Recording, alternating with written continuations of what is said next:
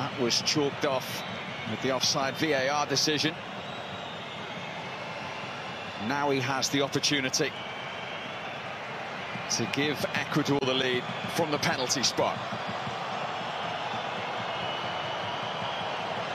The former West Ham and Everton striker in the Qatar goal. It definitely counts.